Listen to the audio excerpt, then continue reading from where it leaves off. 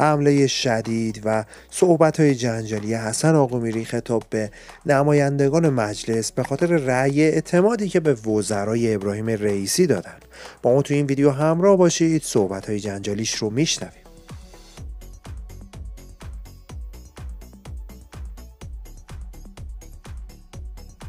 سلام دوستان به کانال هاشیه تیوی. خیلی خیلی خوش اومدید. امیدوارم حال احوال خوب باشه و اوضاع به کام باشه.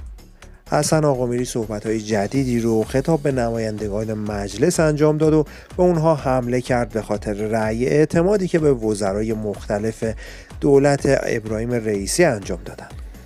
حسن آقامیری با اشاره به صحبت های جدید وزیر ارتباطات درباره اینترنت استارلینک و ورشکستگی اپراتورهای تلفن همراه به خاطر بستن ترافیک های بین الملل به این وزیر و وزرای دیگه ابراهیم رئیسی حمله کرد و و نسبت به عملکرد نماینده های مجلس انتقاد داشتش.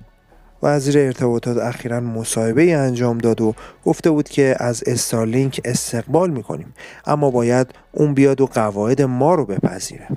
که همین مورد با واکنش آقامیری همراه آقامیری توی استوری که توی این اینستاگرامش منتشر کرد نوشت آقایان مجلسی شما که شعار شفافیت دادید اما عمل نکردید حداقل فکر آینده خودتون باشید.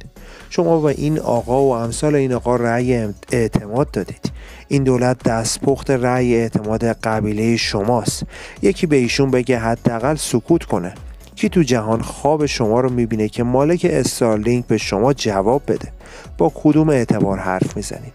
شرم بر ما که سرنوشت ما افتاده دست شما. یکی جواب بده دلار امروز چنده؟ سفره مردم کار و کسب مردم. امید مردم کجاست؟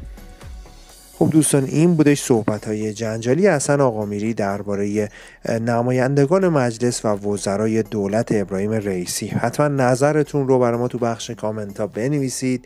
یک دنیا هم سپاس برای like این ویدیو و subscribe کانال. امیدوارم همیشه شاد و سلامت و پیروز باشید. تا ویدیوی بعدی خدا نگهدارتون.